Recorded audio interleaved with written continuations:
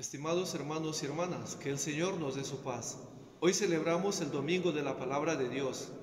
Con esta jornada, el Papa Francisco quiere enfatizar en la liturgia de la Iglesia la centralidad de la Palabra de Dios en la vida y en la liturgia de la Iglesia. La Palabra de Dios es la revelación que Dios mismo ha establecido, que Dios mismo ha creado a través de un vínculo de comunicación con nosotros que nos habla concretamente por dos modos o a través de dos modos. La primera es a través de la palabra de Dios escrita en el texto sagrado y lo segundo, la palabra de Dios que se va tejiendo y escribiendo en nuestro presente para que nuestra historia sea una historia de amor y de salvación. La primera lectura que está tomada del profeta Isaías capítulo 8, los versículos del 23 al 9, 3, nos presenta el oráculo mesiánico de la reunificación de las tierras de Neftalí, que significa guerrero, y de Zabulón, que significa honorado, que fueron despreciados por Judea por haber sido anexionados a los territorios de Asiria después de la destrucción del reino del norte, y ahora serán reunificados con el resplandor de una luz. La glorificación comienza en la certeza de que el pueblo que andaba en las tinieblas ha visto una luz en el territorio de los gentiles, de los goín, que en la noche vieron la salvación de Dios que ha realizado un accionar prodigioso sin mediación alguna. También la profecía de la luz que ilumina a estos pueblos que viven en las tinieblas se puede interpretar desde dos perspectivas.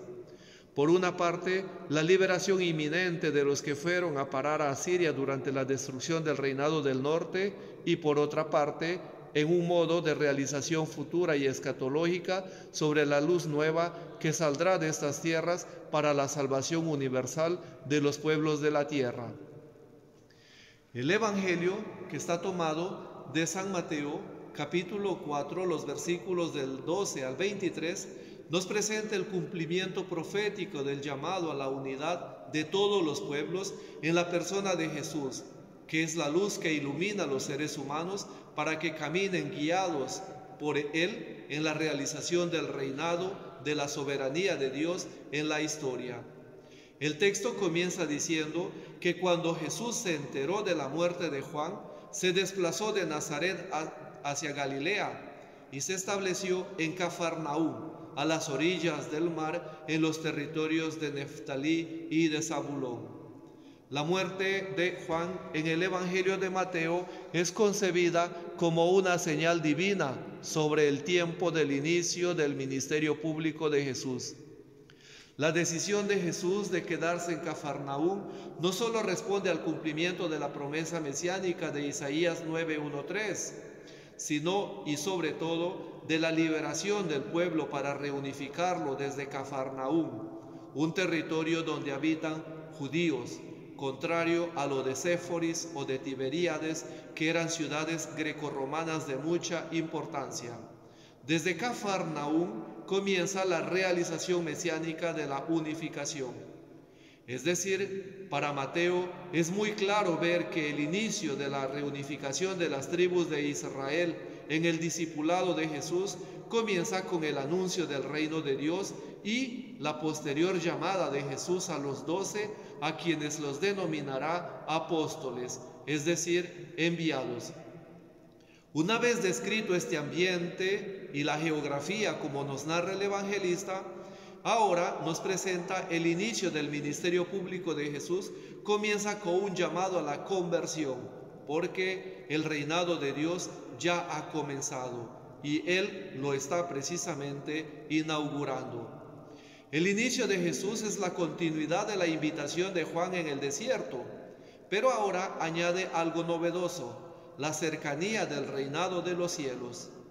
El llamado a la conversión es decir, a la metanoia, no es algo de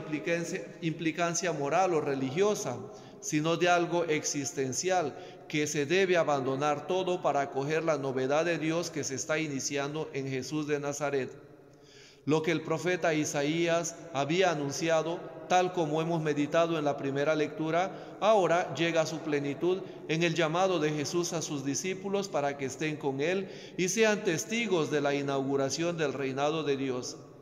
La llamada es una iniciativa de Jesús que decide escoger a unos personajes en concretos para que, estando con Él, sean testigos y sean continuadores de su ministerio.